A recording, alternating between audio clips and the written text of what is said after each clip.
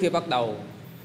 À, xin mời quý vị à, chắp tay chúng ta niệm à, ân Đức Phật. Đảnh lễ Đức Thế Tôn. Nam mô tassa Phagavato Arahato Samma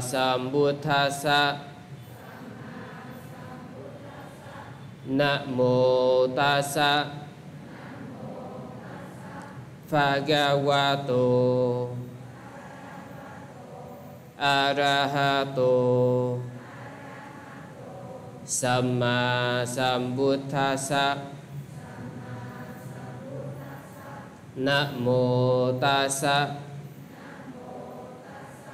Phagavato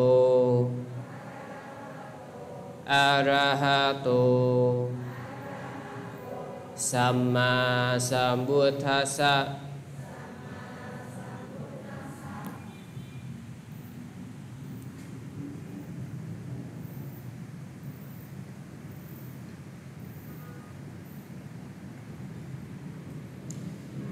Mấy lần trước sư nói là cái người học trung bộ kinh, mục đích là để chúng ta ứng dụng và thực hành trong tư thế của cái người thực hành.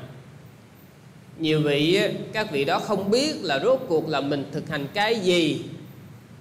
Thì, xin thưa, thực hành cái mà sư nói ở trong trung bộ. Toàn bộ tất cả những cái lời hướng dẫn đều là cái để cho mình thực hành. Đó không phải là sự hướng dẫn để nghe cho vui. Xin lấy ví dụ như Hôm trước á, Sư có nói về những cái chi phần Hỗ trợ tinh tấn giác chi. Cái đoạn cuối bữa trước là nghĩ về ân đức. Cái ơn của người đã hộ độ Đã cúng dường mình Đã có ơn với mình.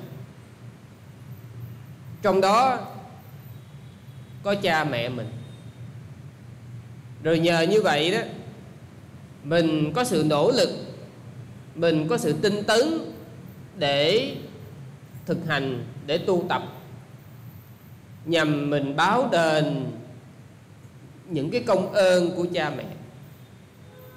Hoặc một vị tu sĩ khi mà nhận được những cái sự cúng dường, vị ấy cũng phải biết ơn. Vì ấy suy nghĩ đó,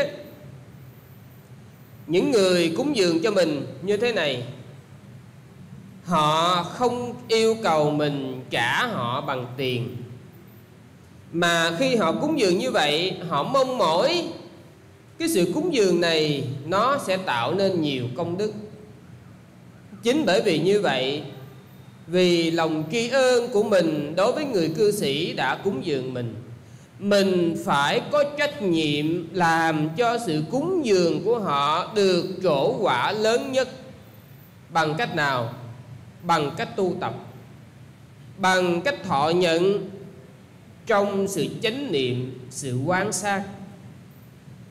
Bằng việc sử dụng những tài sản họ cúng dường một cách hợp lý. Và mỗi lần mình sử dụng, mình đều có lòng tri ơn những thí chủ đã hộ độ mình. Đặc biệt là mình phải nỗ lực tu tập. Ngày nào mình chưa giải thoát, ngày đó mình còn chưa trả xong cái ơn của người cư sĩ. Thì khi mà chúng ta thường xuyên suy tư như vậy đó, chúng ta có sự nỗ lực. Thì đó chính là sự thực hành. Chứ không phải sư nói để nghe chơi cho vui còn khi mà chúng ta nghe nhiều, cái gì cũng biết hết, mà đụng chuyện xài không được. Sư lấy ví dụ như, cũng biết là mình nên à, siêng làm việc để à, nuôi dưỡng cha mẹ. Nhưng mà siêng không nổi. Thì có nghĩa là cái lòng biết ơn của mình chưa có đủ cái sự thường xuyên suy tư về cái ơn chưa có đủ. Chỉ đơn giản như vậy thôi. Hoặc là nếu như một vị tu sĩ cũng biết là trách nhiệm của mình khi nhận những vật phẩm thí chủ, bố thí cúng dường, trách nhiệm của mình là phải làm cho những thứ đó được tăng trưởng công đức ngay cả từng miếng cơm mình ăn, từng miếng nước mình uống, thời buổi bây giờ là từng miếng điện mình xài, thì đều nhờ cái ơn của người cư sĩ.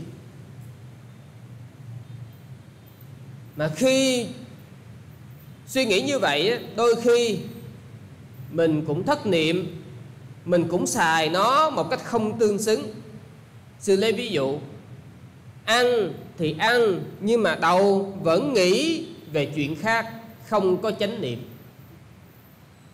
Hoặc là uống thì uống, nhưng mà vẫn nghĩ giận hờn người này, giận hờn người kia. Thì đó là đôi khi mình vẫn chưa có chánh niệm. Bây giờ làm sao khắc phục? Đó là do mình chưa biết ơn một cách đầy đủ. Thưa với quý vị có lần một à, phật tử đến đảnh lễ cúng dường cho sư và nói thưa sư đây là sau khi nghe pháp sư con rất hoan hỷ đây là toàn bộ tài sản con tích góp được từ xưa đến nay con xin cúng dường sư. Sư hết hồn sư không dám nhận. Tại vì chỉ đơn giản là cái sự kỳ vọng của họ vào mình quá lớn. Phải đó, mà sau khi mình nhận, mình tu xong mình chứng liền đạo quả đó, giác ngộ liền á, thì họa mai mình mới trả xong cái ơn của họ. Còn bây giờ mình nhận, rồi làm sao mình trả được cái ơn đó? Mà bây giờ đó, cái niềm tin của họ quá lớn. Phải làm sao bây giờ? Nói, thôi, rồi, được rồi. Sư thay mặt tam bảo sư nhận. Và sư chỉ dùng cái này cho những việc phục vụ cho tam bảo, phục vụ cho việc hoàng pháp. Và đúng là mình làm như vậy. Thì như vậy đó, cái số tài sản của họ đi vào những cái chuyện xứng đáng.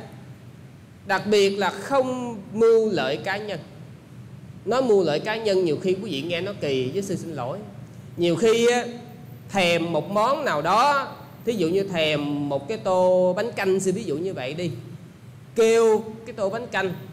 Đối với quý vị nó là không có gì nhưng mà đối với một nhà sư đó là chuyện không có nên. Bởi vì nó phục vụ cho cái nhu cầu cá nhân của vị đó nhu cầu hưởng thụ cá nhân của vị đó. Chứ sư không nói cái chuyện gì ghê gớm đâu. Thành ra đó khi mà mình nghĩ thật sự mình có cái lòng tri ơn đối với cư sĩ mình càng tri ơn nhiều mình càng không dám xài những cái khoản đó cho những việc cá nhân. Hoặc là mình càng tri ơn nhiều là mình lại càng phải ráng tu.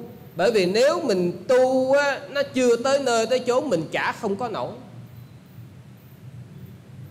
Cho nên những cái này toàn bộ là những lời để mình thực hành hết. Mình chưa thực hành được là chẳng qua mình chưa suy tư nhiều.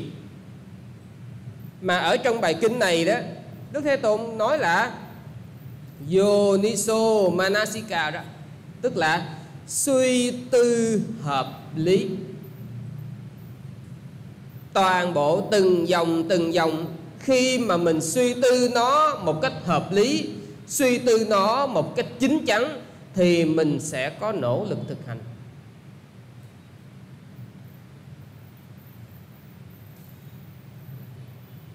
Sư có một lời đề nghị. Mỗi ngày đó, quý vị tại gia cư sĩ, hãy thử dành thời gian suy tư về cái ơn của cha mẹ mình.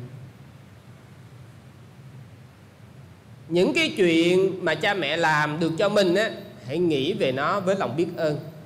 Còn những chuyện mà cha mẹ cũng còn là phàm á thì mình để qua một bên tức là gạn đục khơi trong.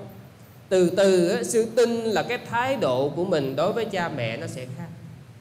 Do mình thường xuyên có sự suy nghĩ về cái ơn của cha mẹ mình. Còn những vị xuất gia thường xuyên. Thực sự mà nói đây là bổn phận chứ không phải là lời khuyên nữa bởi vì nó được ghi ở trong tạng luật và một vị tỳ kheo tối thiểu một ngày phải làm một lần để suy nghĩ về cái ơn của cư sĩ.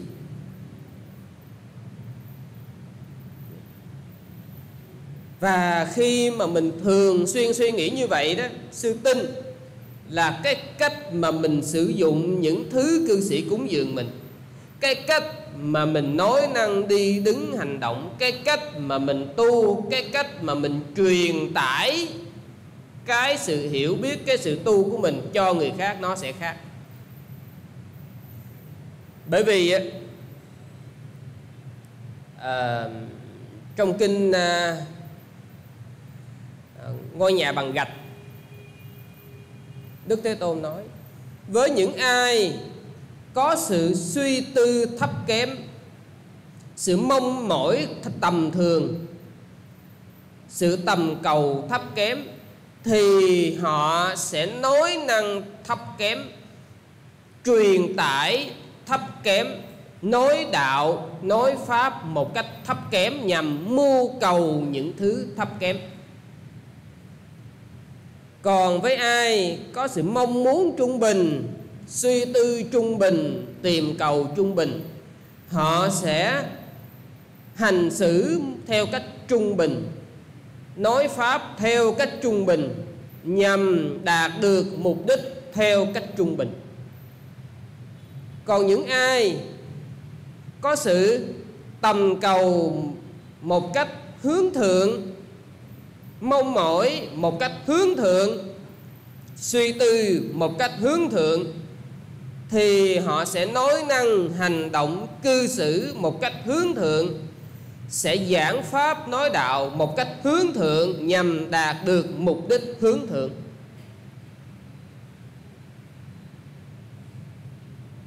Cho nên khi chúng ta thường xuyên suy tư chính những cái suy tư đó sẽ thay đổi dần sự nhận thức của mình. Và từ đó mình sẽ khác đi nhiều lắm. Đó là sự thực hành đó thưa quý vị. Cái gạch đầu dòng tiếp theo khi mà nghĩ à, làm sao để mà tăng trưởng cái tinh tấn giác chi đó là nghĩ về di sản vĩ đại mà ta thừa hưởng từ đức thế tôn ở trên sư nói về lòng tri ân nhưng mà cái ơn lớn nhất mà đôi khi chúng ta niệm mỗi ngày nhưng mà chúng ta lại không nhớ. Đó là cái ơn của thế tôn. Ơn ngài lớn lắm, xin thưa. Nhờ cái ơn ngài lớn như vậy đó, ngài truyền cho mình một cái giáo pháp vĩ đại mà xin thưa đó, nếu như không có giáo pháp này đó, là mình đi địa ngục miệt mài. Có còn nhớ hôm trước sư nói chúng ta toàn là lên sân khấu để diễn lại những vở kịch cũ. Cũng đau đó, khổ đó, khóc đó, cười đó. Nhưng mà trong dòng sanh tử luân hồi đó, chúng ta diễn những vở kịch ở địa ngục, ngạ quỷ súc sanh nó nhiều gấp vô số lần chúng ta diễn những vở kịch ở cõi người. Chúng ta diễn những vở kịch chịu đau khổ, chịu mất mát, chịu máu lệ nó nhiều gấp vô số lần. Chúng ta diễn những vở kịch làm ông hoàng, bà chúa đóng những vở cao sang. Nhưng chúng ta không có cách để thoát ra.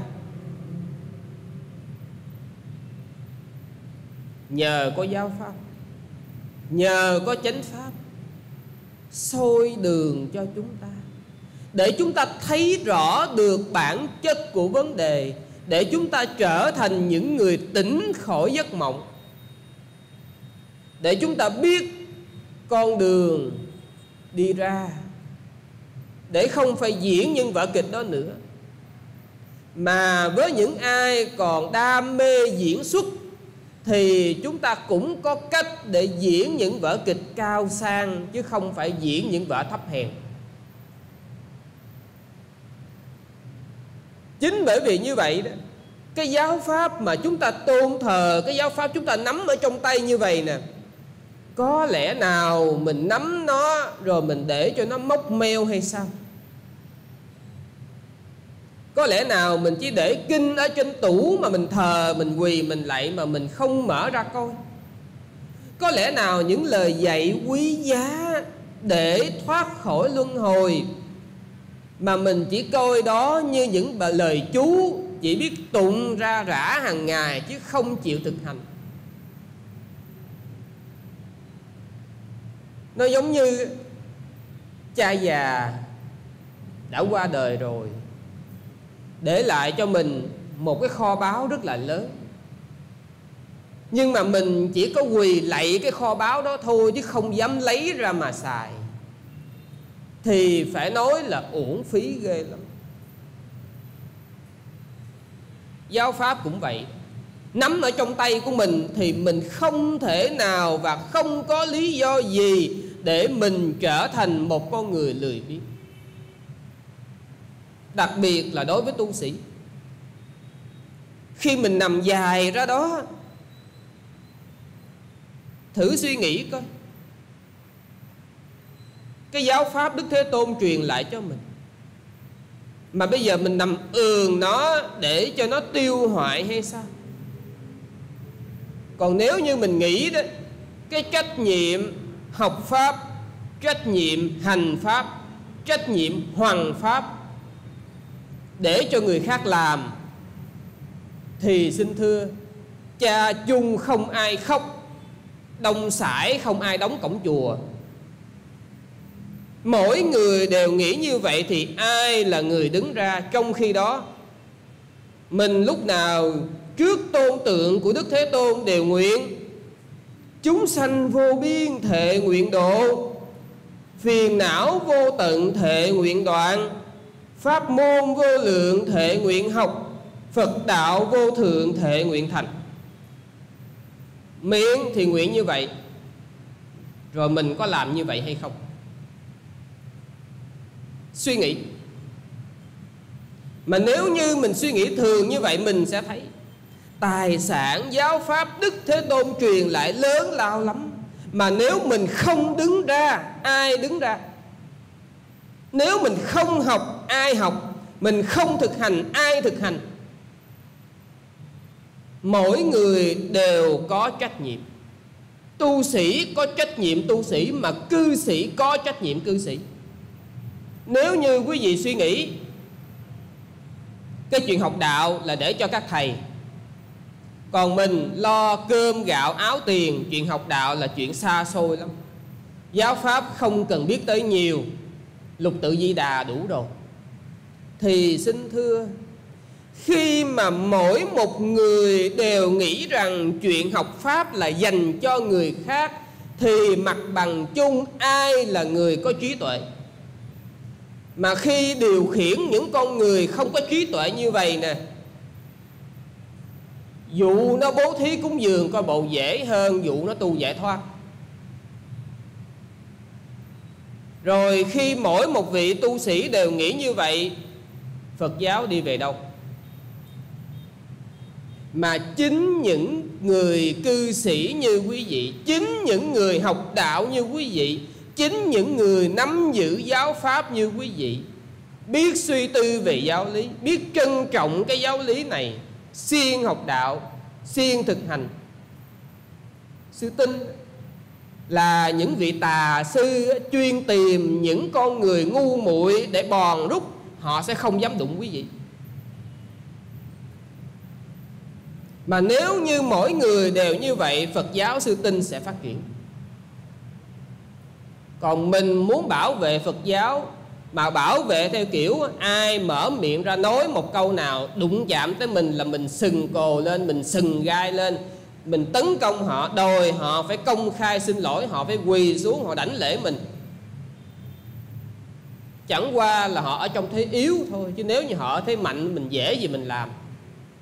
Nhưng nếu như mỗi người chúng ta đều học đạo, đều học pháp, đều giữ gìn tài sản quý giá này, ai dám coi thường mình? Ai dám tấn công mình? Và đó là cách chúng ta bảo vệ Phật pháp đó, thưa quý vị. Cho nên, suy tư về cái giá trị chánh pháp chúng ta đang nắm ở trong tay sẽ là nguồn động lực, sẽ là nguồn cơn để chúng ta hiểu, chúng ta học và chúng ta thực hành. Từ tăng ni cho đến cư sĩ. Tiếp nữa là chúng ta nghĩ đến cái đức, cái ơn của đức thế tôn.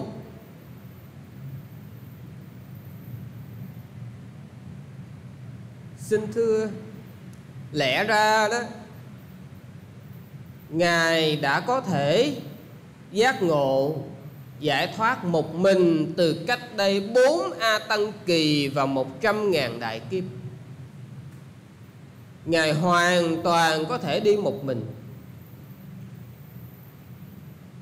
Cách đây bốn A Tăng Kỳ, một trăm ngàn đại kiếp, Khi Ngài quỳ dưới chân Phật Nhiên Đăng, Nếu như Ngài đổi nguyện thì Ngài hoàn toàn có thể ngay thời điểm đó chứng đắc đạo quả a la hán tam minh lục thông và tứ tuệ phân tích. Nhưng vì lòng đại bi đối với chúng sanh, ngài nghĩ, ta có khả năng qua sông. Nhưng không lẽ ta nở lòng nào đi một mình hay sao?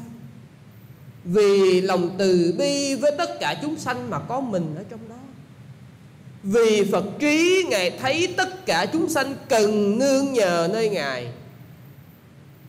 Sư tin là chính mỗi con người chúng ta đã từng nằm trong Phật nhãn của Đức Thế Tôn. Chính bởi vì lòng từ bi vô hạn, Ngài mới tiếp tục vung bồi ba la mật thêm bốn A Tăng Kỳ vào một trăm ngàn đại kiếp. Máu Ngài đổ nhiều hơn nước trong bốn biển. Xương Ngài chất cao hơn núi Tu Di. Ngài khổ như vậy để làm cái gì? Chỉ để trong kiếp cuối cùng, Sau khi đắc thành Phật quả 45 năm hoàng pháp độ sinh, Cuối cùng nơi thành Cú Xí Na Ra. Viên tịch Niết Bàn không còn gì cả. Chi vậy? Mà phải chi sau khi Ngài chứng đắc đạo quả đó Ngài ăn sung mặc sướng. Không. Ngài vẫn chân đất. Ngài vẫn đi từ xứ này qua xứ nọ Để nghe chúng nó chửi Để cho chúng nó bỏ đói. Mà sau đó, đó Ngài sẽ hộ độ họ. Ngài sẽ giúp đỡ họ để chứng đắc đạo quả. Chúng sanh thương Ngài, Đảnh lễ Ngài dưới chân. Ngài thương cũng y như những con người đứng chỉ vào mặt của Ngài mà mắng Ngài xối xả. Ngài thương chúng ta như vậy, Sự hy sinh của Ngài lớn lao như vậy, Mà nếu như không có Ngài Trái đất này chìm vào màn đêm. Cõi người sẽ hoang vắng, Cõi trời sẽ hoang vắng. Chúng sanh sẽ rủ nhau đi xuống địa ngục ở. Nhờ có Đức Thế Tôn Mà chúng ta mới ngồi được ở đây, Mà chúng ta mới tìm được con đường thoát khổ. Không lẽ đó, Biết được như vậy, Nghĩ được như vậy Mà mình không chịu kế thừa y bác của Ngài hay sao? Mỗi lần mà mình nằm ườn ra đó, Hãy suy nghĩ coi. Cái tư thế này, Cái suy tư này có đáng để gọi mình là một người Phật tử hay không Phật tử là gì? Là con Phật Một đứa con mà lười biếng như vậy Có xứng đáng với người cha vĩ đại hay không? Tự suy nghĩ mà khi chúng ta suy nghĩ được như vậy đó, chúng ta sẽ nỗ lực tinh tấn hơn ở đây, sư xin thưa, không phải là mình khiển trách bất cứ ai. Mà sư đề nghị những lời này nhằm mục đích để chúng ta suy tư về nó, mà chúng ta nỗ lực tinh tấn hơn. Cho nên đây mới là một cách để chúng ta tăng trưởng sự tinh tấn. Rồi một điều nữa đó là chúng ta hãy noi gương các bậc đồng phạm hạnh ở đây tức là các vị thánh tăng. Vì sao chúng ta noi gương các bậc thánh chứ chúng ta không noi gương các bậc phàm? Bởi vì phàm rất dễ thay đổi. Một vị phàm á, ngày hôm nay vị đó tốt, chưa chắc ngày mai vị đó vẫn còn tốt. Ngày hôm nay vị ấy còn tu chứ ngày hôm sau chưa chắc vị ấy vẫn còn tu. Chính bởi vì như vậy đó, nhiều người họ không còn niềm tin nơi các vị phàm tăng. Bởi vì họ thấy các ông phàm tăng hành xử nó phàm quá. Chính bởi vì như vậy chúng ta noi gương ở đây là noi gương các bậc thánh tăng, chứ không phải phàm tăng. Hãy nghĩ về các cái công hạnh của các ngài, những sự hành trì của các ngài. Và chúng ta lấy đó làm gương. Những lời dạy của các ngài đó còn nằm suốt ở trong kinh tạng. Xin lấy ví dụ như chúng ta có tượng ngài Sivali ở đây. Noi gương là noi gương cái gì? Noi gương không phải là mình thắp cây nhang, rồi mình xin ngài Siva lý cho mình nhiều tài lộc. Mà mình noi gương là noi gương cái hạnh buông xả của ngài. Nhờ ngài tích cực bố thí, nhờ ngài tích cực buông xả, ai xin cái gì ngài cũng cho. Thậm chí người ta không xin, ngài thấy người ta khổ, ngài cũng cho. Mà chính bởi vì như vậy đó ở kiếp cuối cùng, ngài không thiếu một cái gì. Chúng ta phải noi gương là noi gương như vậy. Nhờ như vậy đó, chúng ta nỗ lực, chúng ta tích cực bố thí. Mà sư không chắc là tất cả những người đảnh lễ dưới chân ngài Siva lý lại nghĩ đến cái chuyện này, hay là các vị đảnh lễ dưới chân ngài để xin ngài mớ tài lộc có nhân thì mới có quả. Hoặc là chúng ta nghĩ về ngài à, Mahakassapa. Ngài là đệ nhất đầu đà. Hoặc nói một cách khác ngài là đệ nhất ly dục. Cả đời ngài chỉ mặc ba y. Ngài chỉ ăn một lần trong ngày. Ngài chỉ đi khất thực khi ngài già rồi đó, đức thế tôn bảo ngài, hãy về sống với tăng đoàn. Ngài mahakasapa đã già rồi, hãy về sống với tăng đoàn đi. Ngài mahakasapa nói bạch thế tôn, con cảm thấy an vui, cảm thấy an ổn khi sống trong rừng. Cho tới khi nào chân của ngài còn đi được thì ngài vẫn đi khất thực quý vị có tưởng tượng nổi một vị sư già hơn 100 tuổi, lụm cụm vẫn đi khất thực, nhưng đặc điểm của ngài là chuyên chọn xóm nghèo để ngài đi. Cái hạnh của ngài đặc biệt lắm, cái đức của ngài lớn lắm. Rồi mình có noi gương được hay không? Khi mình có suy nghĩ như vậy, suy nghĩ noi gương ngài, mình sẽ bớt đi rất nhiều những sự hưởng dục cho nên, cái chuyện mà chúng ta noi gương các bậc thánh giúp cho chúng ta siêng năng hơn nhiều lắm. Hoặc là khi chúng ta hành thiền, trời nóng, chân đau, chúng ta noi gương suy nghĩ các bậc thánh xưa đó, khi trời nóng, các ngài suy tư về cái khổ của địa ngục.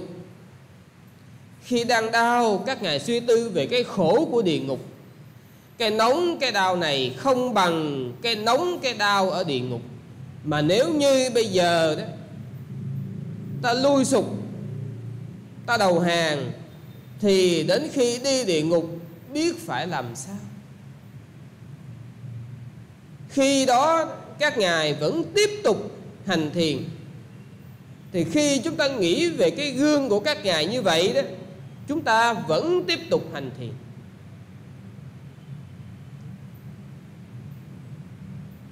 Hoặc là khi chúng ta bị thế gian nó đánh, nó chửi, nó sỉ vả, chúng ta nghĩ về cái hạnh của ngài, Angulimala. Ngài bị người ta đánh đập, nhưng mà ngài không bao giờ oán hờn. Bởi vì ngài biết cái nghiệp năm xưa đó, bây giờ nó trổ mà lẽ ra với cái nghiệp đó, đó đi địa ngục rồi. Nhưng mà do bây giờ đạt được quả vị thánh đi địa ngục không được thì nó trổ như vậy cũng còn nhẹ nhàng lắm. Mà khi mình suy nghĩ được như vậy đó mình có khả năng nhẫn nại rất là nhiều. Bởi vì mình suy nghĩ với những nghiệp quá khứ biết đâu lẽ ra mình đi địa ngục rồi. Nhưng nhờ có sự tu tập, cho nên cái nghiệp nó nhẹ tới như vậy như vậy đã rất là nhẹ rồi, lẽ ra nó có thể nặng hơn. Hoặc sư nói một chút xíu nữa, giả sử như quý vị xách xe đi về nhà, trên đường đi quẹt xe té cái ầm xuống dưới đất, suy nghĩ. Suy nghĩ cái gì? Nhờ mình vừa mới tu xong cái nghiệp nó mới nhẹ như vậy. Chứ còn không thôi là nó nặng hơn rất là nhiều, nó không chừng là bây giờ ỏi e rồi. Và khi mình có suy nghĩ như vậy đó, thì sao? Nỗ lực tu nhiều hơn nữa. Bởi vì mình càng tu, cái phước nó càng đỡ mình.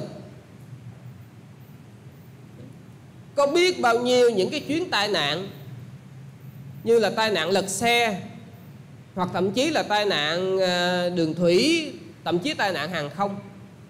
Có người chết liền tại chỗ, có người bị thương nặng, có người bị thương nhẹ, mà hy hữu có những trường hợp không sao cả. Do đâu vậy? Do phước nó nâng đỡ họ.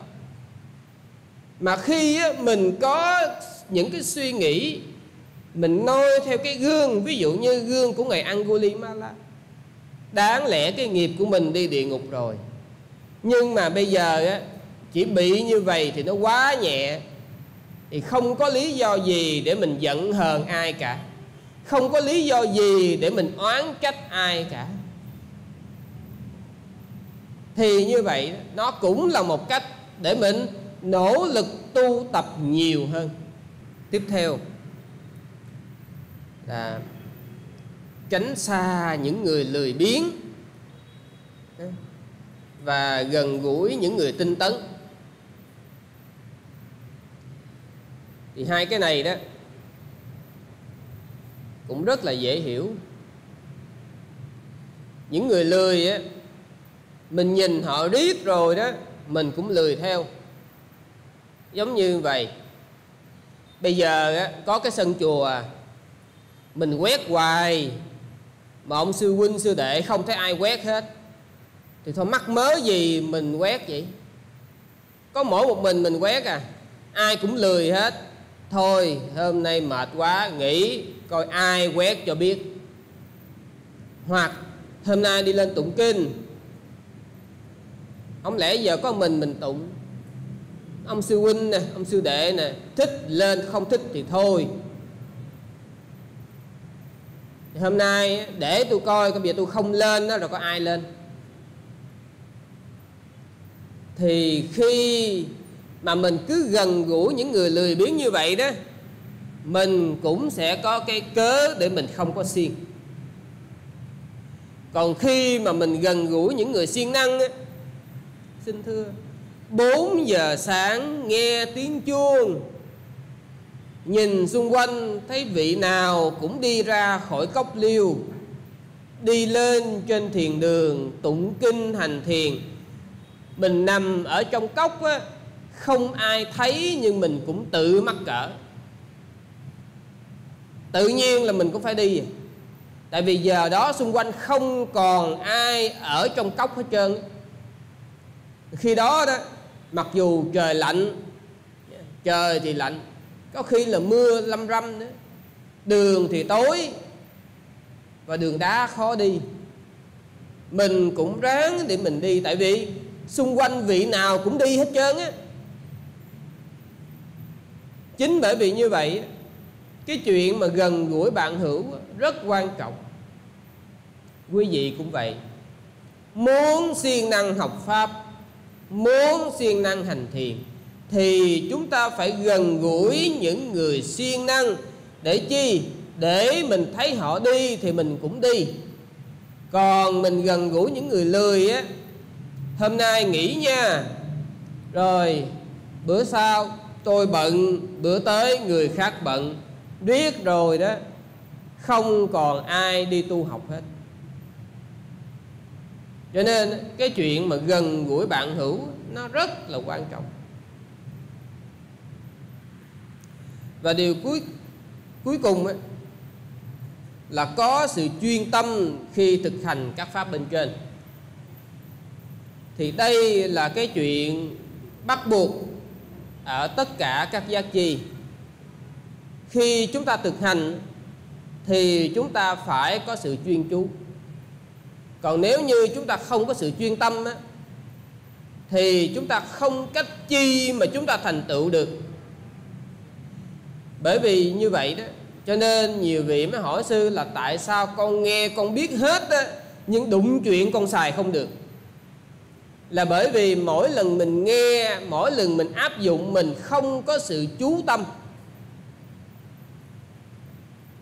Bây giờ đó tại vì cái lượng kiến thức nó hơi nhiều cho nên chúng ta khi chúng ta thực hành một cái gạch đầu dòng nào thì chúng ta hãy chuyên tâm, chú tâm thực hành theo cái gạch đầu dòng đó. Rồi từ từ kiến tha lâu đầy tổ.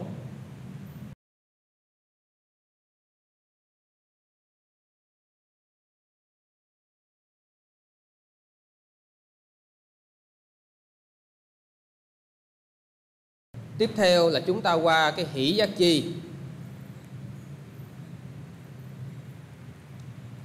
Hỷ giác chi là gì? Hỷ giác chi là những cái pháp hỷ phát sanh khi chúng ta tu tập hướng đến sự giác ngộ giải thoát.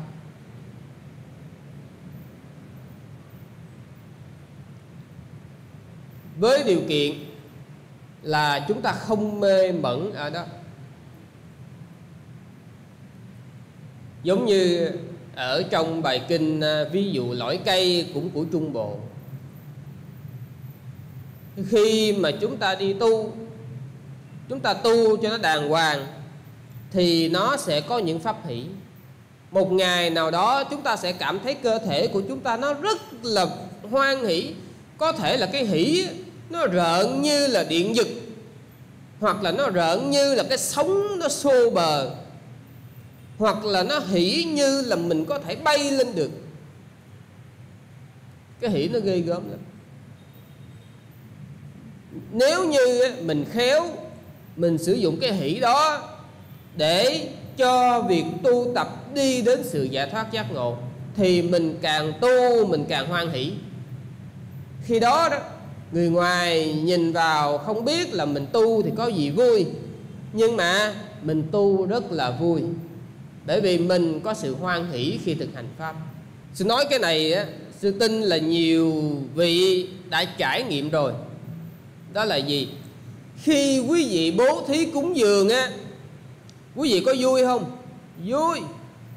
Những người keo kiệt họ không biết tại ủa tại sao mất tiền mà vui? Cái người bình thường á, họ không biết tại sao mất tiền lại vui. Trong khi đó chúng ta rõ ràng chúng ta mất tiền chúng ta bố thí cúng dường là chúng ta bỏ tiền túi chúng ta ra. Nhưng mà mất tiền nó lại vui. Mặc dù chúng ta không mua một cái gì hết, nhưng do đâu? Do pháp hỷ nó giúp cho chúng ta vui. Khi chúng ta làm các thiện pháp, nhờ pháp hỷ đó giúp cho chúng ta siêng thực hành các thiện pháp hơn. Chứ còn xin thưa, bố thí mà bố thí xong rồi mà buồn đâu có ai bố thí bố thí vui người ta mới bố thí.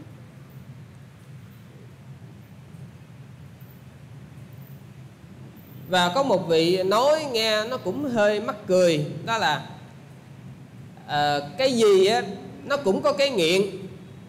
Thí dụ như à, là coi phim riết nó cũng nghiện à, có nhiều người chơi game nó cũng nghiện à, thậm chí có người là trong ăn nhậu nó cũng nghiện nhưng mà nhiều người đó họ làm được cái này mới hay nè họ nghiện làm phước. Tại vì càng làm phước họ càng vui. Cái pháp hỷ á, nó nuôi dưỡng họ nó làm cho tinh thần và thể xác của họ được thăng hoa. Và họ lúc nào họ cũng cảm thấy hoan hỷ trong các thiện pháp.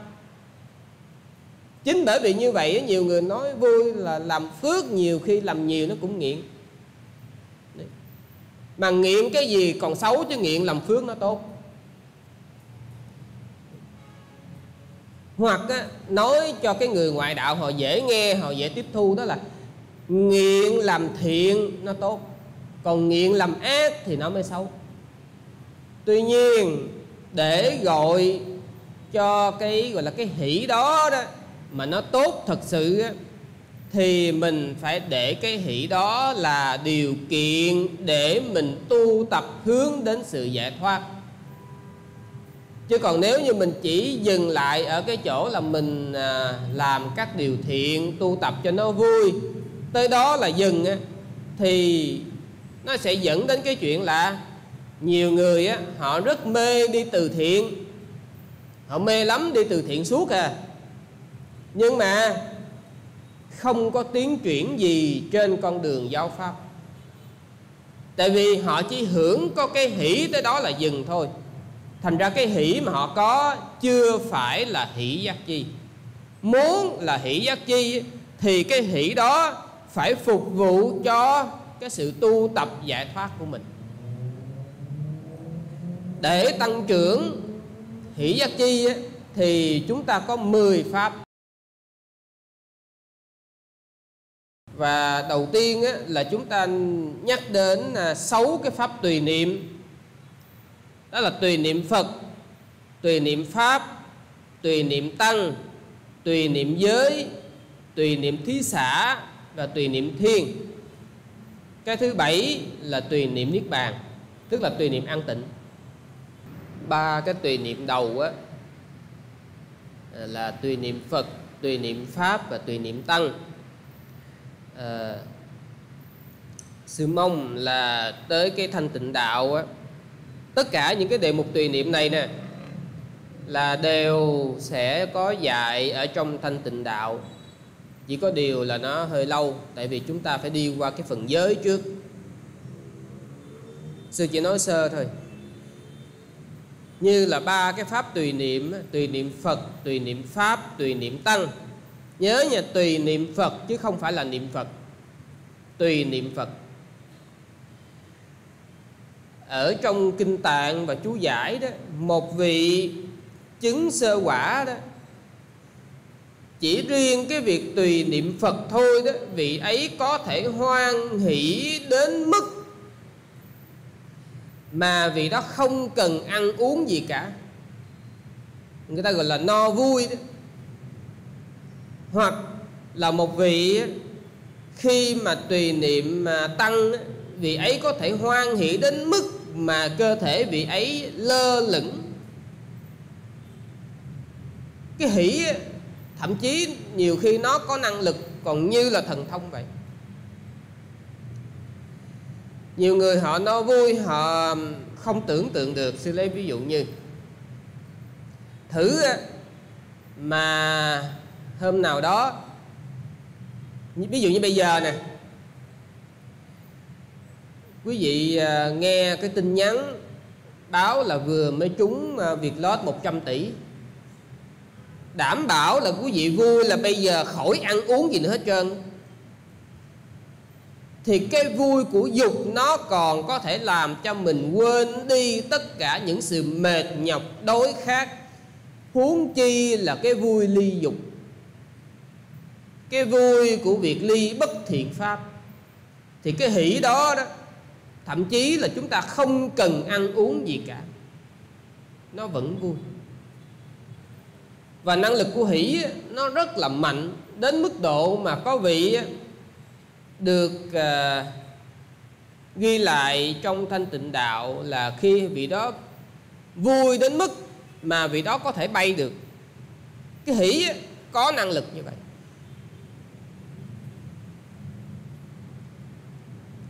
Rồi tùy niệm à, Phật, tùy niệm Pháp, tùy niệm Tăng, là chúng ta suy nghĩ về cái ơn đức của ba ngôi tam bảo.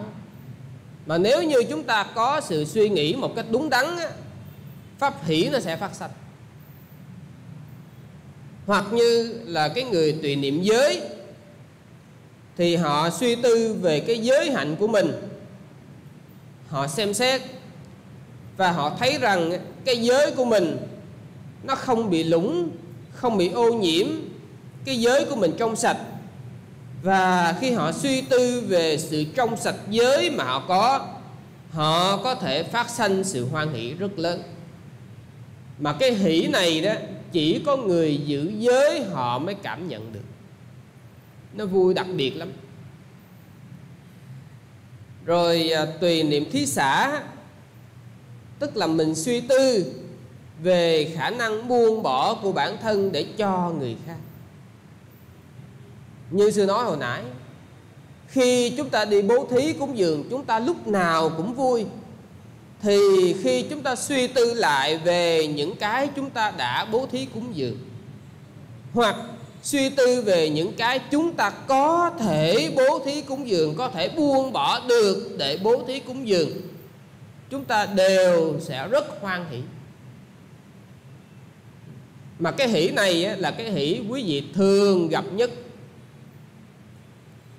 Thành ra à, khi mà chúng ta rơi vào những hoàn cảnh ngặt nghèo ví dụ như nằm trên giường bệnh hoặc nằm trên giường chết thì cách để cho quý vị dễ nhất nó có hai.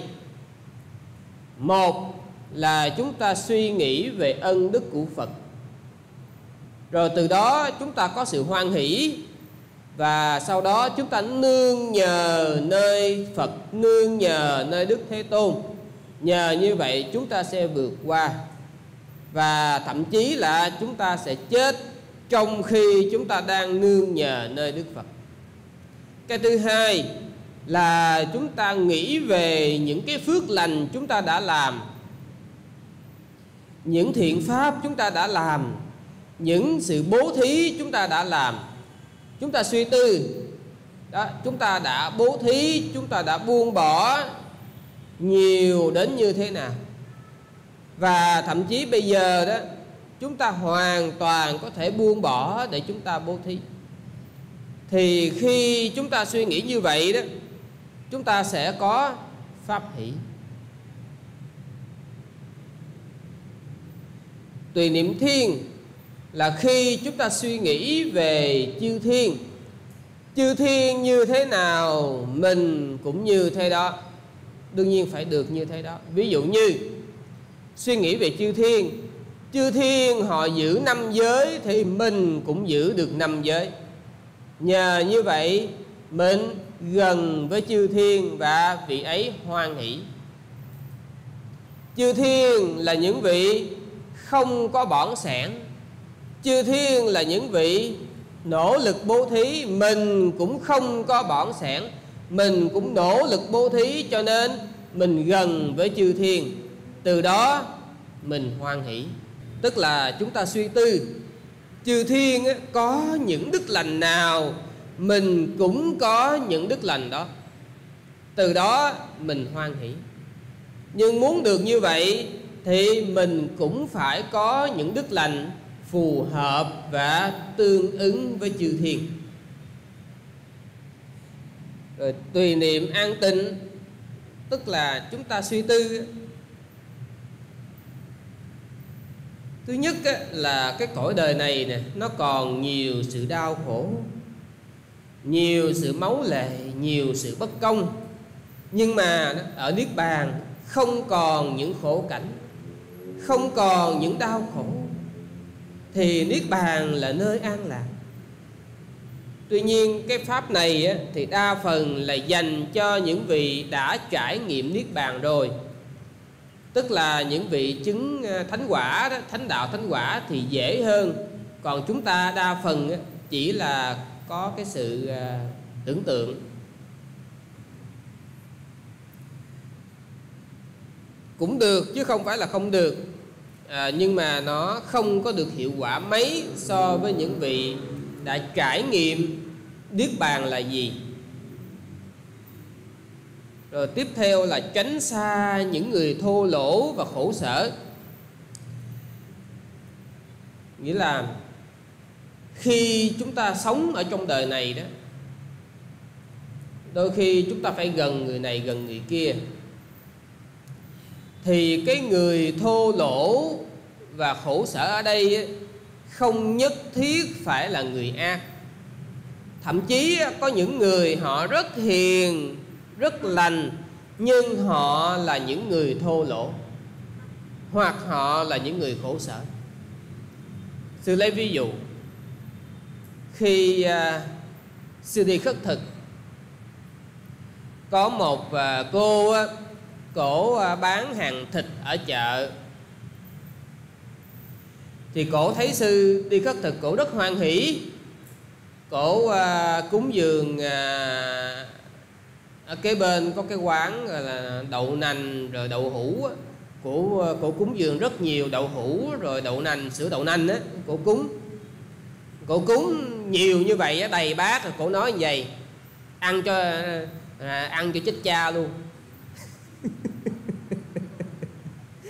thì á, mình biết là cổ không có cái ý xấu, cổ rất hoan hỷ, nhưng mà cái cái kiểu người như cổ á, thì cổ nói nó hơi thô tục. Chứ cổ hoàn toàn cổ không có ý xấu. Đó, nhưng mà phải nói là cổ thuộc vào cái hạng người là thô lỗ. Tại vì không có biết cách nói sao cho nó nhẹ nhàng, cho nó dễ thương còn những người khổ sở cũng như vậy đó. À, có khi họ hiền lắm nhưng mà họ khổ quá. Thành ra là cứ gặp mình là họ than không à. Đó. Gặp là than thôi mặc dù mình biết là à, họ cũng hiền đó nhưng mà họ cứ than suốt vậy thôi. Thì như vậy đó mình cũng khó lòng mà hoan hỷ được. Sư không nói là mình à, coi như là mình ghét bỏ họ. Nhưng mà có đôi khi mình cần cái pháp hỷ thì trong giai đoạn mình cần pháp hỷ thì mình tránh tiếp xúc với họ, nó sẽ tốt hơn. Chứ sư không nói là họ xấu, họ ác nha. Chẳng qua là họ không phù hợp trong giai đoạn mình cần cái hỷ. Đơn giản như vậy thôi. Rồi tiếp theo là chúng ta gần gũi với những người lịch thiệp và giàu lòng từ ái. Cái này đương nhiên là ngược lại ha. Khi mà chúng ta gần những cái người lịch thiệp á, nói năng nhỏ nhẹ biết trước biết sau đó biết lựa lời mà nói hoặc thậm chí lúc nào cũng có lòng từ với mình á thì mình rất là an lạc rất là yên vui. Cái hỷ nó dễ phát sanh và cái điều cuối cùng là có sự chuyên tâm khi thực hành các pháp bên trên. Cái này thì à, không phải à, giải thích lại ha.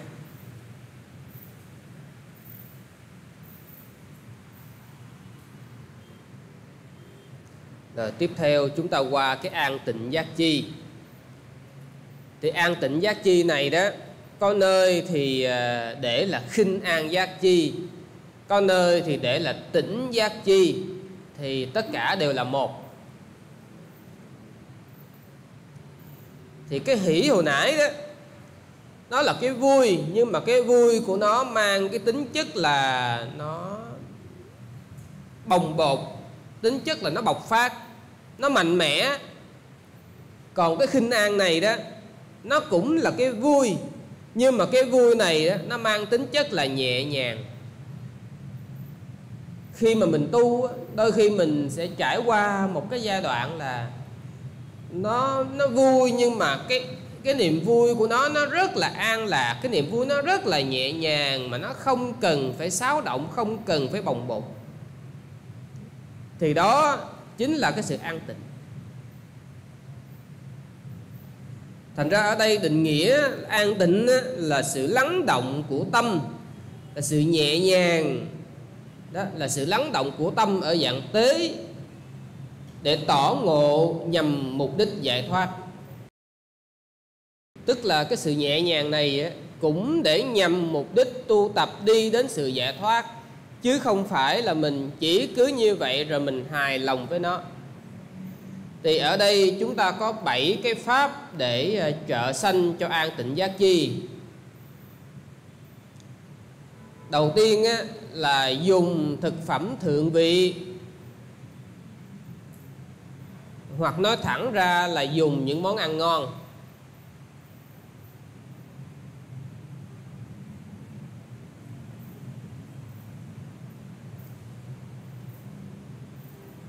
Như là có người đó thì họ thích ăn ngọt thì uh, mình cần phải chuẩn bị cho họ đồ ngọt. Tức là mình á ví dụ như mình thích ăn ngọt thì cần có đồ ngọt cho mình ăn. Rồi hoặc là với người mà thích ăn mặn thì cần chuẩn bị cái loại thực phẩm mặn cho họ. Có người thích ăn dai chua thì cần thực, chuẩn bị cái thứ dai chua. Có người thích ăn khô người thích ăn nước. Nói chung á là cái loại thực phẩm đầu tiên là nó phải phù hợp với với cái sở thích của mình cái thứ hai là nó phải ngon. Và nhờ những cái à, chuyện như vậy thì mình mới có được cái sự an lạc. Nhưng mà cái này là phải khéo nha. Còn nếu như mình không khéo á, là mình rơi vào cái tâm tham á.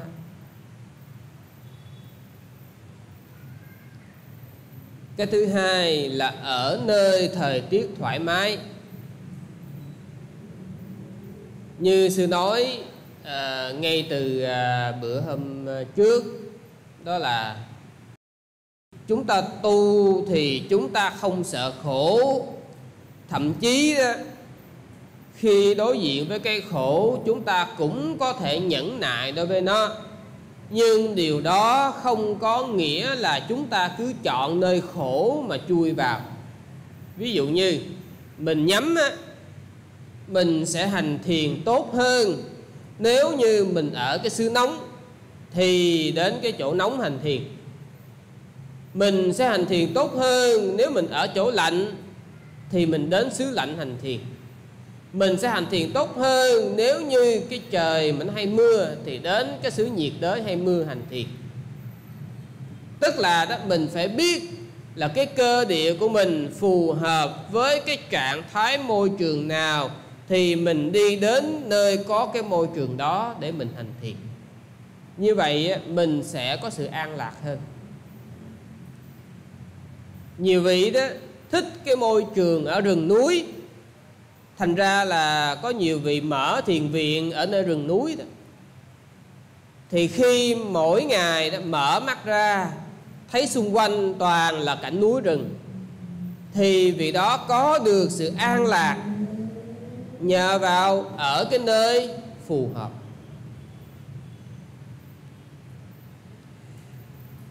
Cái thứ ba là giữ bốn oai nghi thoải mái, dễ chịu.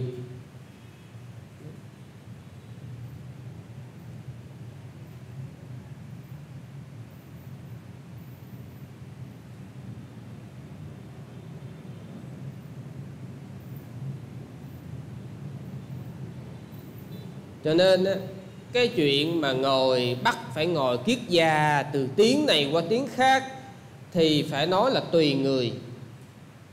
Thậm chí nếu như mình áp dụng không đúng nó phản tác dụng.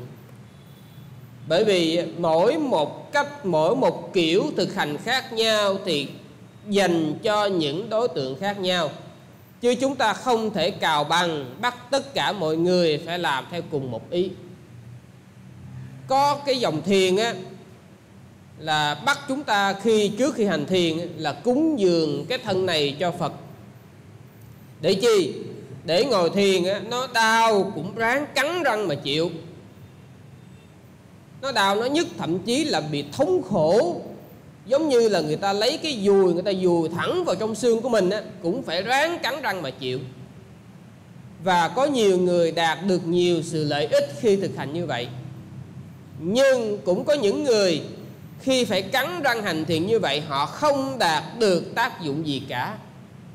Thành ra có một số người để có được cái hỷ á, họ phải duy trì bốn oai nghi phù hợp. Khi thì đi khi thì đứng khi thì nằm khi thì ngồi. Miễn sao phù hợp thì thôi.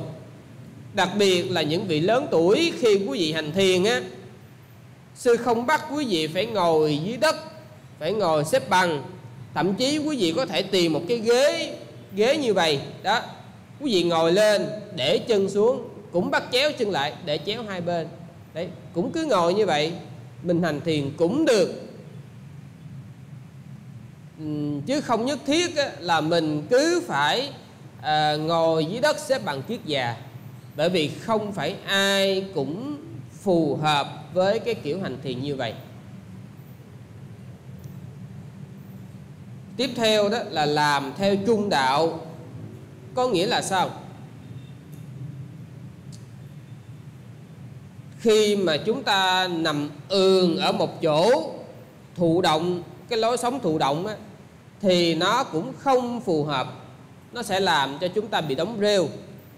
Nhưng cái kiểu thực hành á, mà mình cứ lăn xăng lăn xăng à, ví dụ như à, hết quét à, hết quét chùa xong rồi đi lao chánh điện rồi lại đi tỉa cành rồi đi cắm hoa rồi đi lăn xăng hết chuyện nọ chuyện kia không để cho mình một cái trạng thái an ổn. Thì như vậy mình cũng không thể nào có được cái an tịnh được. Cho nên chúng ta phải có sự quân bình. Khi thì cần làm thì chúng ta làm khi cần yên tĩnh thì chúng ta yên tĩnh. Với cái kiểu sinh hoạt mà nó theo cái lối trung đạo đó, thì chúng ta mới có sự an tịnh được.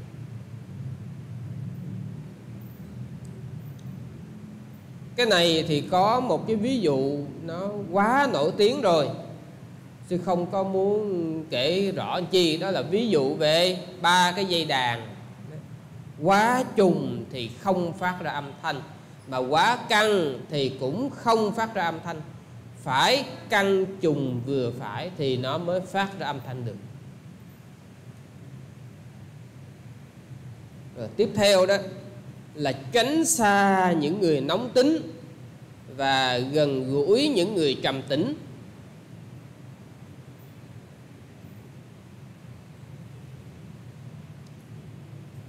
Thì nó cũng tương tương đối giống như bên hỷ giác chi.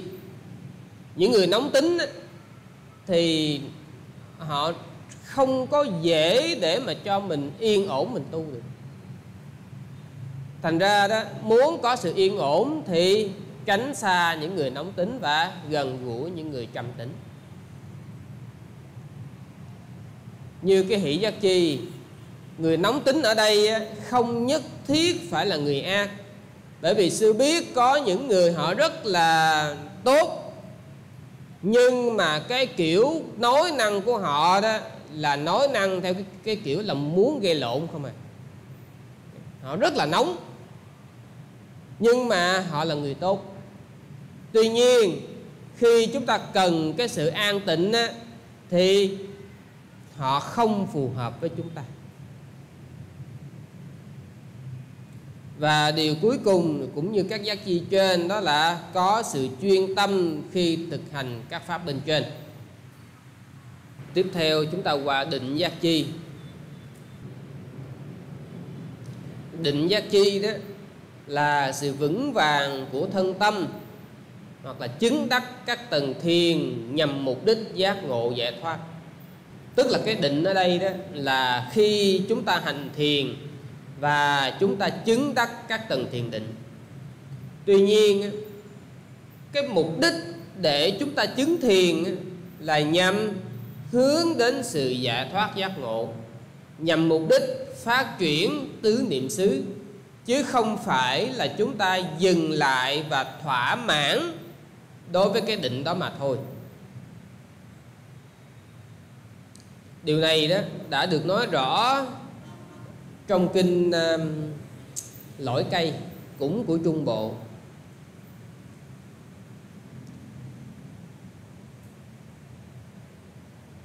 Và ở đây chúng ta có 10 pháp để trợ sanh định giác chi. Thứ nhất là làm sạch nội xứ và ngoại xứ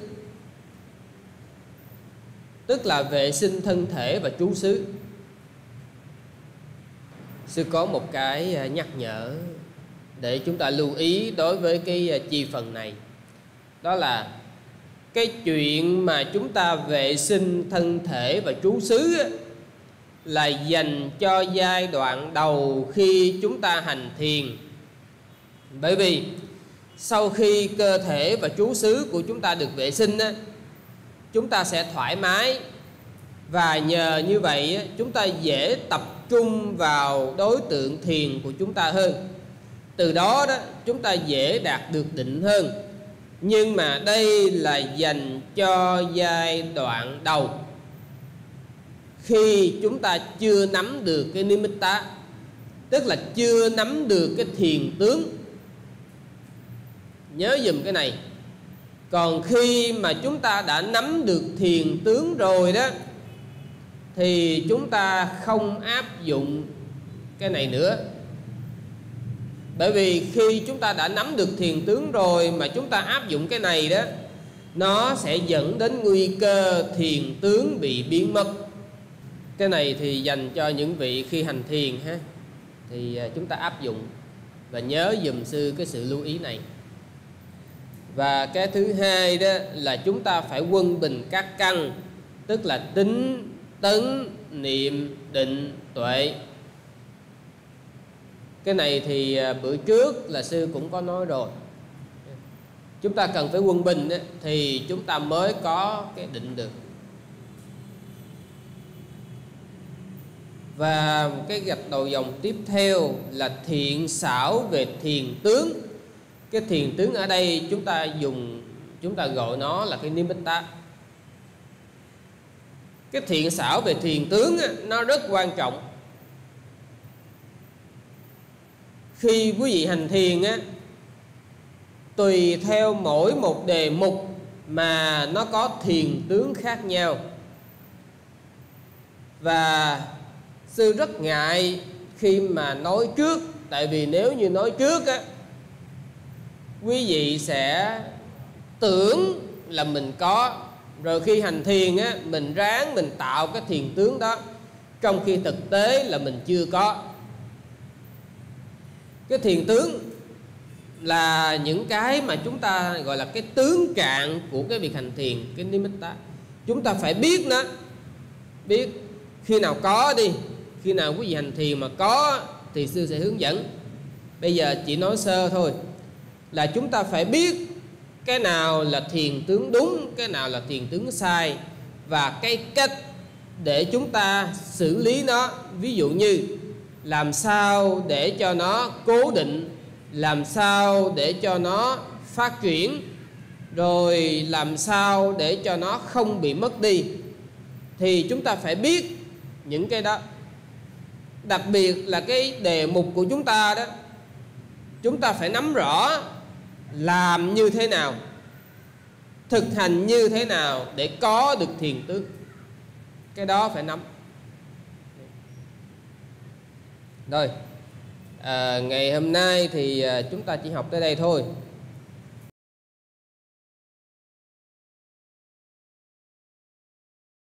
Trước hết ở đây có ai có câu hỏi không?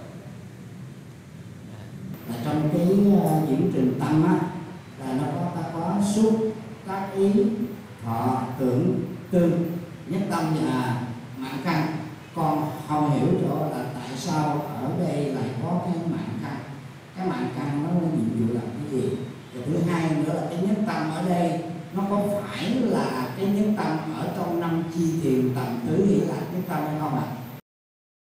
À? à, trong a tỳ đàm á cái uh, gọi là cái gọi là cái cetasika tức là những cái đặc tính đi kèm của tâm.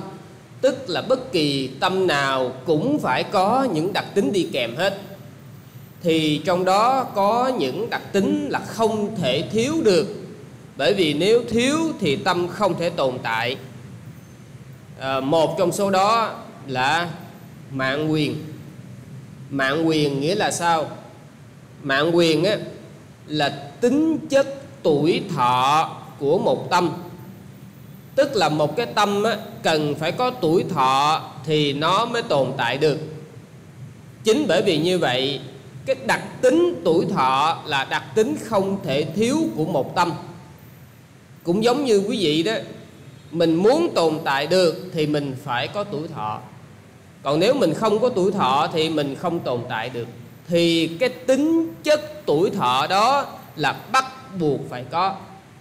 Ờ, đó là tính chất. À, cái thứ hai là cái nhất tâm. Cái nhất tâm ở đây nó không có giống như nhất tâm trong năm chi thiền. Bởi vì một tâm sanh diệt rất là nhanh. Cái trách nhiệm của anh nhất tâm ở đây đó là gì? Giúp cho cái đối tượng không có bị trật. Tại vì một tâm chỉ có một đối tượng thôi. Không giống như khi chúng ta sinh hoạt khi chúng ta hành thiền. Tâm của chúng ta đó nó chạy rất là nhiều cảnh. Nó chạy rất là nhiều cảnh. Nhưng mà sở dĩ nó chạy rất là nhiều cảnh như vậy đó là bởi vì nó là một chuỗi rất nhiều tâm. Còn thực chất một tâm đó, nó chỉ bắt một cảnh thôi.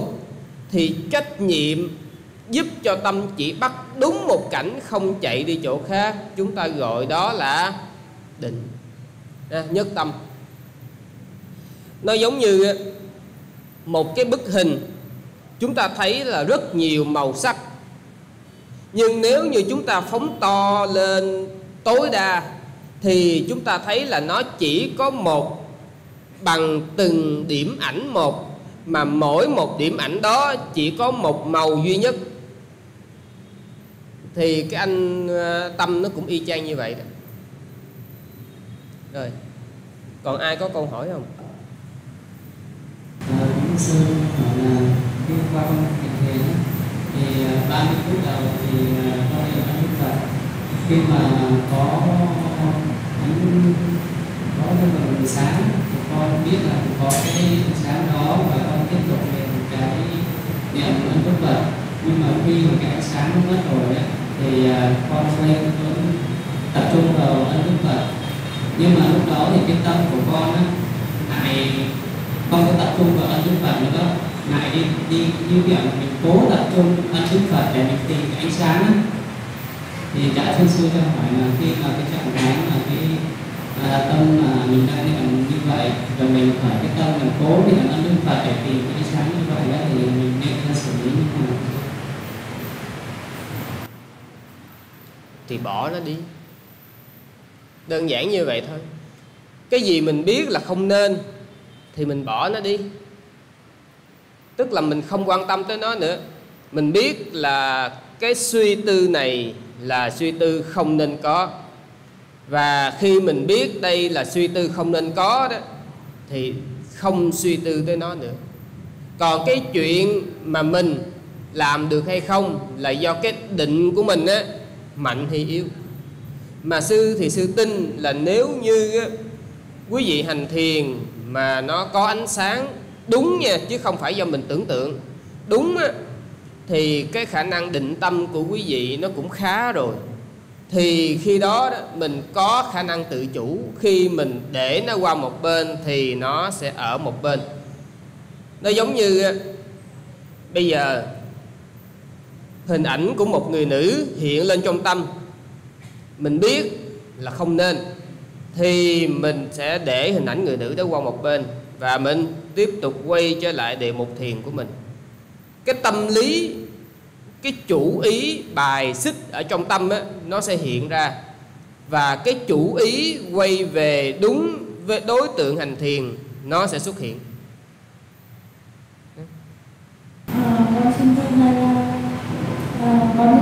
Đi á, sau con ở nhà con có đọc kinh phổ môn với lại chú giải bi à, thì như vậy có có được không? Hay là mình phải làm à, như thế nào cho đúng? Tại con cũng muốn là tình tâm tu tập nhưng mà à, cũng chưa biết đi hướng nào cho đúng với, với cái phần mà mình tu tập đấy ạ.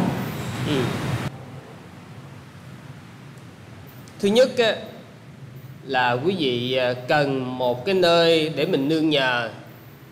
Giống như là mình gửi gắm à, để tìm một cái chỗ dựa cho mình trong những cái lúc mà tâm nó lui sụp.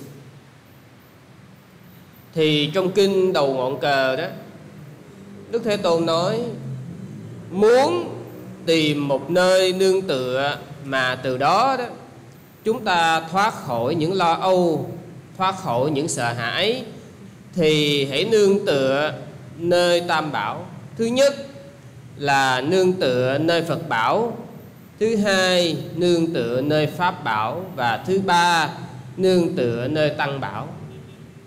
Sư nói cái này thì ở đây là một ngôi chùa thuộc à, Phật giáo phát triển, cho nên có đôi khi quý vị cũng sẽ hơi sốc, đó là trong đó không bao gồm nương tựa một vị Bồ Tát nào cả. Nhớ dùm chuyện này. Tại vì ở trong kinh đầu ngọn cờ à, đầu tiên á, nương tựa nơi Phật bảo Đức Thế Tôn đề nghị hãy quán niệm như sau Itipiso Vakawa Arahang Samma Sambuddho đây là 10 ân đức Phật mà quý vị sẽ nhìn thấy ở tượng Phật trước cổng chùa. Ở bên dưới đó có 10 ân đức Phật đó. Thì khi chúng ta thường suy tư về ân đức của Đức Thế Tôn, Khi đó là mình đang nương tựa nơi Ngài. Ví dụ như,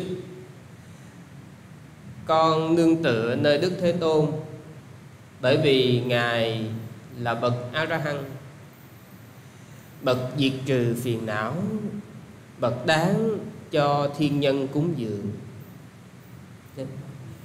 À, hoặc con nương tựa nơi đức thế tôn bởi vì ngài là bậc samma sambuddho bậc chánh đẳng giác.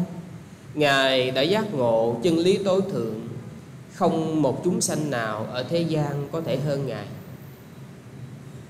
Thì khi chúng ta suy tư như vậy nó làm tăng trưởng niềm tin đến đức thế tôn. Và nhờ đó đó, cái sự nương tựa của chúng ta đến với đức thế tôn được vững chắc. Sư chỉ trình bày sơ thôi.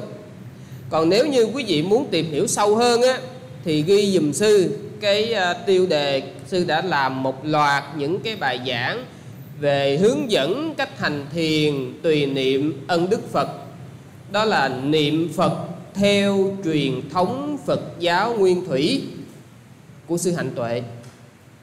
Sư có hướng dẫn đầy đủ thì à, quý vị nương tựa như vậy đó chắc hơn. Ừ, sư nói à, cái này cho nó đời một tí xíu nhưng thực tế cũng trong kinh thôi. Các vị bồ tát nói thẳng ra là chưa phải là phật đúng không? Xét về mọi phương diện đều không bằng một vị chánh đẳng giác, tất cả phương tiện. Thì tại sao mình lại nương, mình không nương nhờ nơi đức thế tôn? Trong khi đức thế tôn là bậc toàn giác, ngài là nhất thiết trí đứng đầu ở thế gian là thầy của trời người, thì nương nhờ đức thế tôn là an toàn nhất.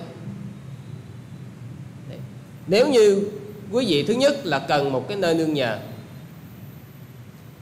À, cái thứ hai là quý vị cần một cái câu chú để um, cầu một cái sự gia hộ. Đúng không? Cái ý của quý vị là như vậy. Thì xin thưa bản thân trong phật giáo không có thần chú mà chỉ có những lời dạy của Đức Thế Tôn. Thông qua việc chúng ta thường ghi nhớ và thường thực hành lời dạy của Đức Thế Tôn, chúng ta được bảo hộ. Mà ở trong à, pháp có nói là người thực hành pháp thì được pháp hộ trì. Nó giống như thế này. Trong tất cả các phương pháp hành thiền người thực hành từ tâm được chư thiên và loài người yêu mến.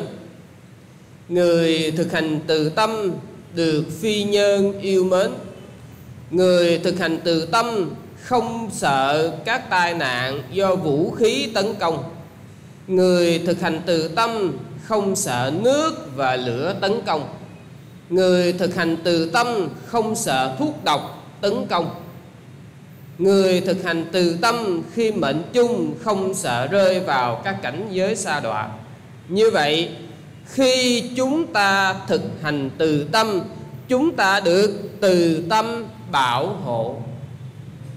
Thì đó là ý nghĩa của sự bảo hộ ở trong kinh tạng. Chứ không phải là chúng ta cứ ngồi niệm từ tâm từ tâm từ tâm từ tâm từ tâm là được bảo hộ. Không phải. Sư đưa ra một ví dụ. Đứa con bị à, đói. Nó đến gặp mẹ, nói, mẹ ơi, con đói. Bà mẹ chỉ cơm trong lòng bàn đó con. Thì trách nhiệm của đứa con phải hiểu ý nghĩa lời mẹ nó nói mà đi mở cái lòng bàn ra ăn cơm. Chứ không phải là nó ngồi nó niệm cơm trong lòng bàn đó con, cơm trong lòng bàn đó con, cơm trong lòng bàn đó con, cơm trong lòng bàn đó con. Mà nó hết đói. Lời dạy của đức thế tôn cũng như vậy. Mục đích lời dạy của đức thế tôn là để chúng ta hiểu và thực hành, chứ không phải để chúng ta ngồi tụng như một câu thần chú mà nhờ đó chúng ta được bảo hộ. Bởi vì Phật giáo lưu truyền từ à, Ấn Độ trải qua hơn 2.500 năm ngôn ngữ Bali một số được dịch ra nhưng một số để à, đảm bảo tính linh thiêng cho nên nhiều vị không dịch ra. Mà khi không dịch ra như vậy đó, nhiều người khi đọc nhiều thì lại tưởng nhầm đó thành câu thần chú. Đó là khởi nguồn từ những câu thần chú. Sư lấy ví dụ như câu uh, à, Namo Tassa Bhagavato Arahato Samma Sambuddhasa. Thì đó là câu đảnh lễ Đức Thế Tôn. Nhưng mà nhiều người khi họ đảnh lễ Đức Thế Tôn liên tục như vậy đó họ nhận được những cái hiệu quả những cái quả lành. Rồi khi mà người khác hỏi thì họ chia sẻ à, cứ niệm như vậy. Đời của họ họ còn biết niệm như vậy có nghĩa là gì? Nhưng qua năm đời, bảy đời đời sau cho tới đời mình không còn biết câu đó nghĩa là gì và mình coi đó là câu thần chú. Nhưng mục đích ban đầu á, là đảnh lễ đức thế tôn. Các câu thần chú khác cũng như vậy. Cho nên, sư chỉ đề nghị là muốn tụng câu thần chú nào thì phải biết ý nghĩa chính xác của câu đó. Khi đó cái việc chúng ta tụng nó mới có ý nghĩa. Sư nói không phải là không có căn cứ, bởi vì cơ sở để mà một bài kinh hộ trì đó, theo như quý vị nói là một câu thần chú trong Phật giáo, một bài kinh hộ trì có hiệu quả phải đáp ứng những điều kiện sau. Thứ nhất, người đọc hiểu được ý nghĩa của câu đó. Thứ hai, họ không bị cực trọng nghiệp quấy phá. Thứ ba, tâm của họ không tán loạn. Thứ tư, họ không bị ô nhiễm bởi các dục. Thì như vậy cái câu niệm của họ nó mới có tác dụng. Còn cái kiểu chúng ta tụng như tụng chú bây giờ đó thì còn lâu mới có tác dụng. Rồi thì trả lời xong cái câu này tôi cũng muốn hết giờ rồi. À, còn um, câu nào nữa không?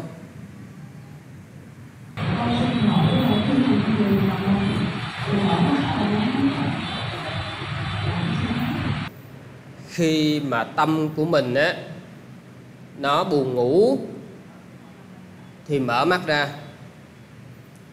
Khi mà tâm của mình á bị tán loạn thì nhắm mắt lại cái chuyện mở hay nhắm tùy thuộc vào trạng thái tâm của mình khi hành thiền chứ không bắt buộc.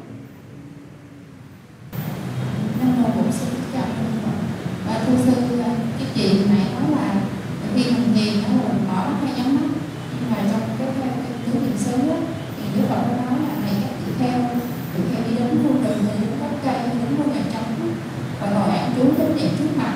Thì người sư giải thích được cho con đó cái từ ăn trú chánh niệm trước mặt đó là mình phải có cái trước mặt và mình phải mở mắt hay nhắm mắt niệm là cái gì? Hôm nay là ngày học uh, trung bộ kinh. Vừa rồi sư nhớ là sư có dạy qua niệm giác chi. Quý vị có còn nhớ niệm giác chi nó là cái gì không?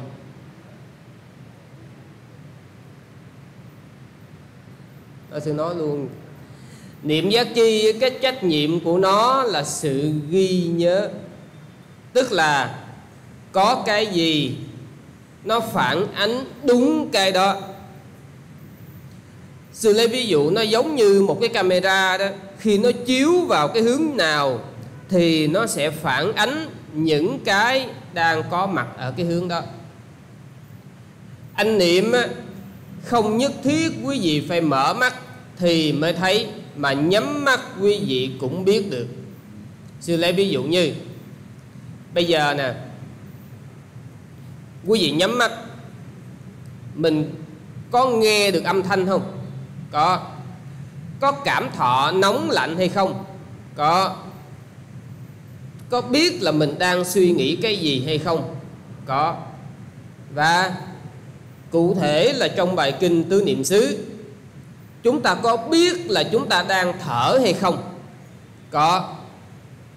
Thì anh niệm đó trách nhiệm của ảnh là luôn luôn nhắc nhở chúng ta là đây là hơi thở nè. Thở vào biết là thở vào. Thở ra biết là thở ra. Thì trách nhiệm của anh niệm á, là ảnh nhắc mình nhớ là có hơi thở trước mặt nè. Quan sát nó. Thì cái chánh niệm trước mặt tức là mình để cái niệm mình cái phạm vi quan sát của mình là ở phía trước mặt. Đối tượng cụ thể là hơi thở. Rồi cô nắm chưa? À, cho nên là không cần phải à, mở mắt hay nhắm mắt. Ừ.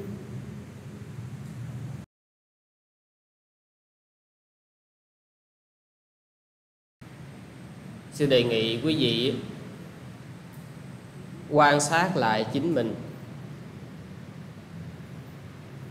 Xác định bây giờ là lúc chúng ta vì mình. Để hết tất cả mọi trách nhiệm, tất cả mọi lo toan, tất cả mọi phiền não để lại bên ngoài cổng chùa. Bây giờ chỉ có hơi thở là nơi để cho mình nương nhờ. Thả lỏng cơ thể. Hít vào. Biết là hít vào. Thở ra. Biết là thở ra. Hít vào. Biết là hít vào.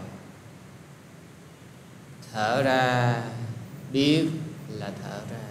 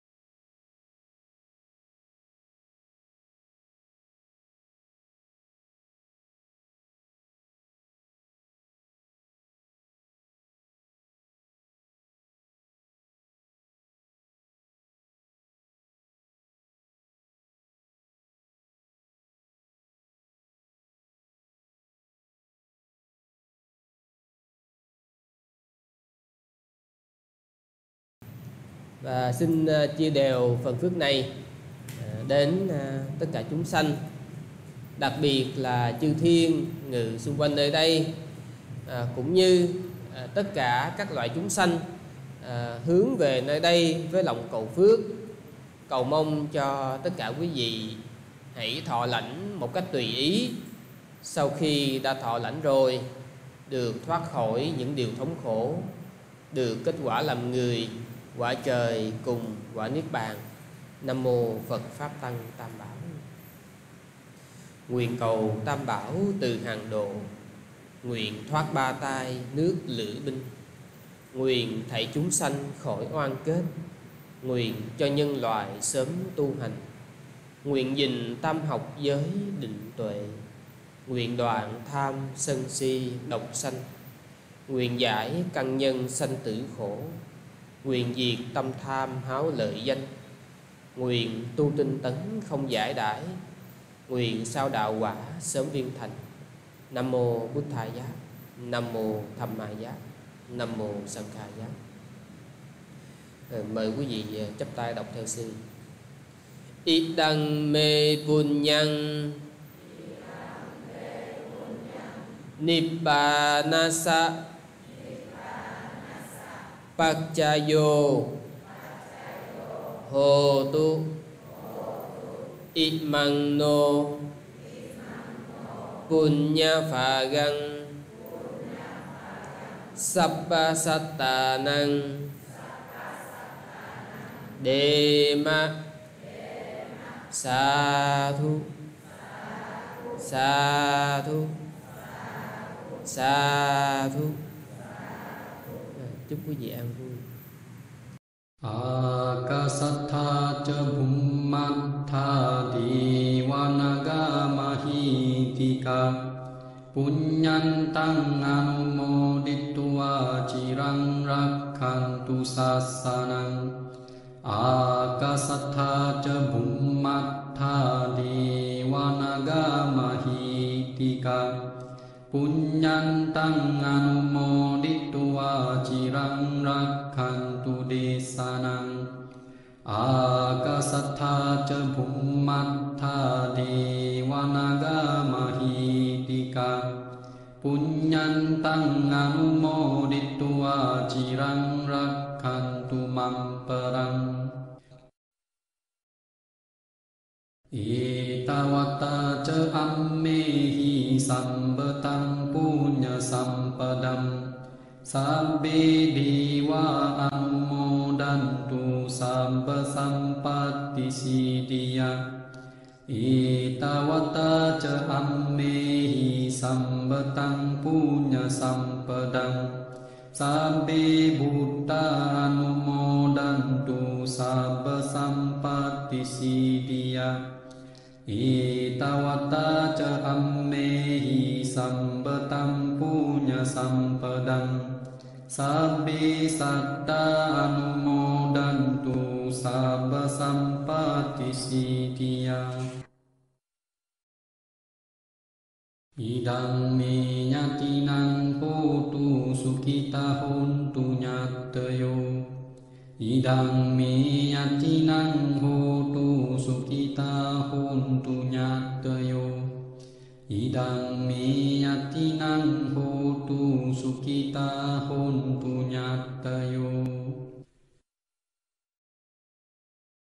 ඉදං මේ පුඥං අසවාකයා වහන්හෝතු ඉදං මේ පුඥං නිපානස්ස පච්චයෝ හෝතු।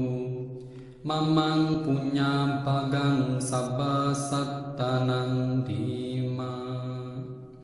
සාඩ සාඩ සාඩ